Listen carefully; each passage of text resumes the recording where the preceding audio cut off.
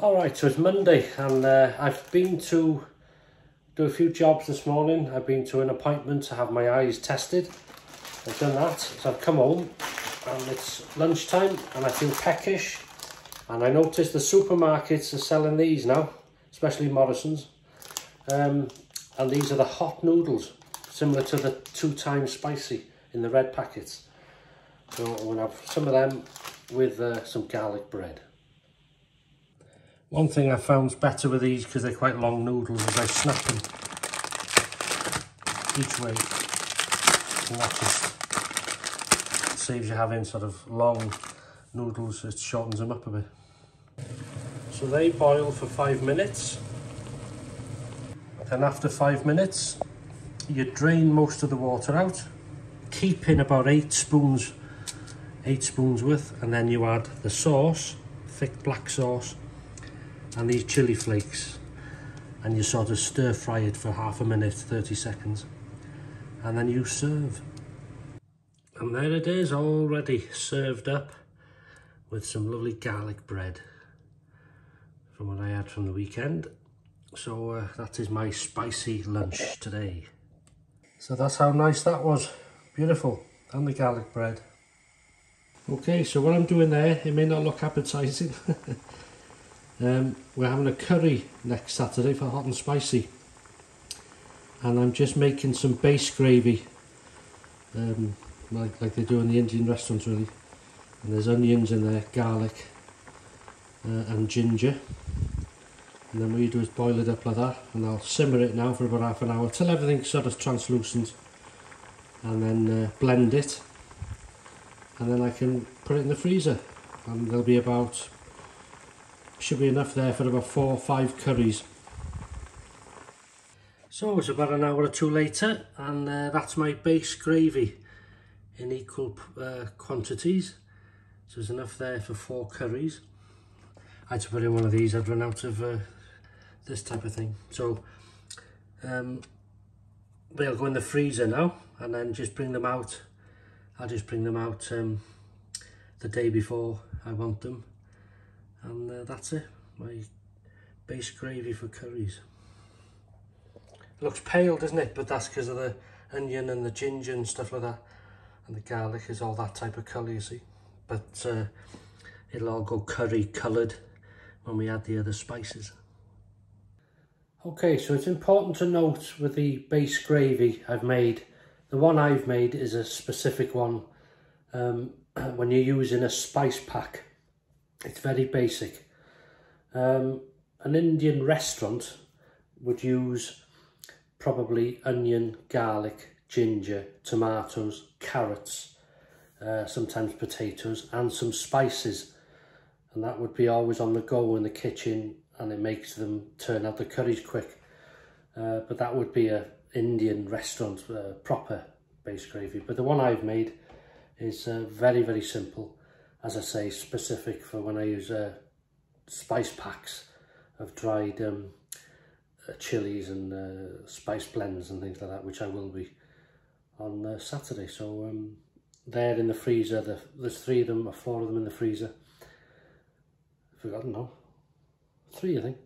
Um, no, they've all gone in the freezer, so I can bring one out for Saturday on Friday to cook. And then um, and that's it. So uh, we'll show you in the garden now what's going on there, what's growing, what's going uh, good this year. Right, I'm just going to cut some runner beans Mrs H has grown. And they're going for lunch.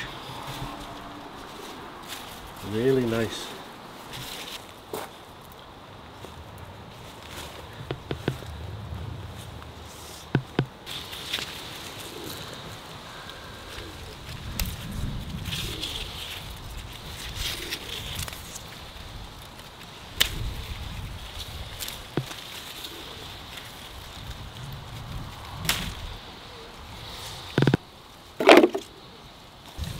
Now the broad beans.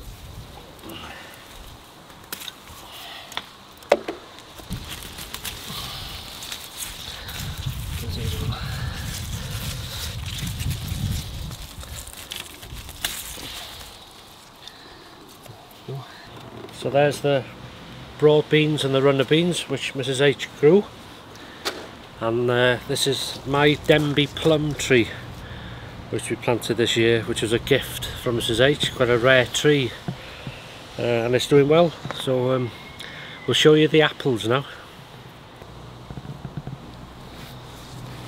And this is our little apple tree. And since the first year we planted it Mrs H bought them and this has just given fruit from the first year. It's fantastic. They're not ready yet as you can see but they're beautifully sweet apples uh, which we both enjoy and there's loads on there. So fantastic. Just looking now and the bumblebees love the lavender. They love um, lots on there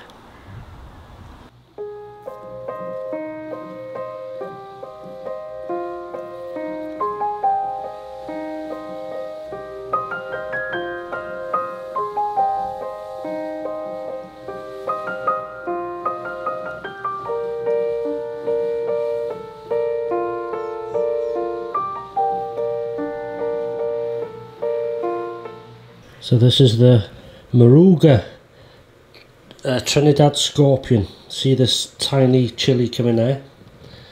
And there's another one just there. And there's one here. Where are you? Behind this leaf thing. Get to it. Where are you? Down here somewhere. Oh, there. What's this here? There. When that turns red, should be hot, baby. well, it's Tuesday morning now, and uh, it's raining, as you may be able to hear. But someone is comfortable and enjoying it.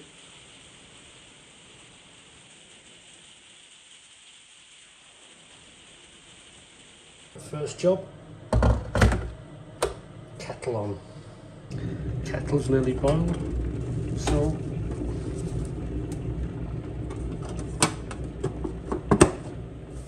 Cup of tea first. And then we're going to be having a breakfast and sort of lunch together. I'm just cooking some bacon in the background if you can hear the little uh, convection oven going halogen oven. I've sliced these mushrooms up. I think that's a double yolker egg and we'll fry some tomatoes. So we'll have bacon, egg, tomatoes, uh, and bread and butter. Oh, one more addition. Add some oil to the pan.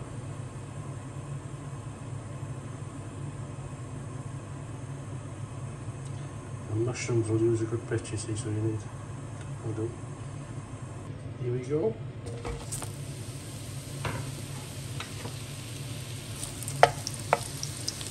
Level them out.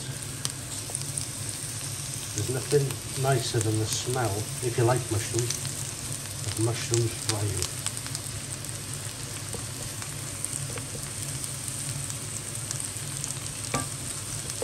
let them go for a bit.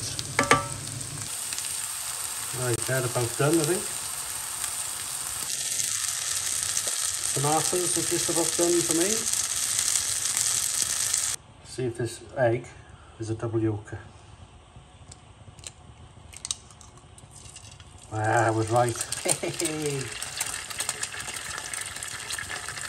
That's about done for me as well, just right. So there we have it. Bacon, egg, double yolker, tomatoes and mushrooms with a nice soft yolk. And that bacon there was only 90 pence. It's called cooking bacon and it's it's like the end bits of the bacon using cooking normally in stews and that but it's like a piece of gammon it's lovely. One more thing to do. Show you. Beautiful soft yolk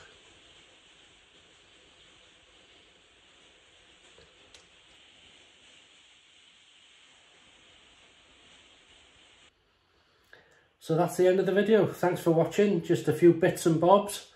Uh, hope it was interesting to watch and um, didn't keep you too long. Uh, so thanks for watching. Have a great rest of the week. and uh, I'll see you in the next one. Take care. Bye bye.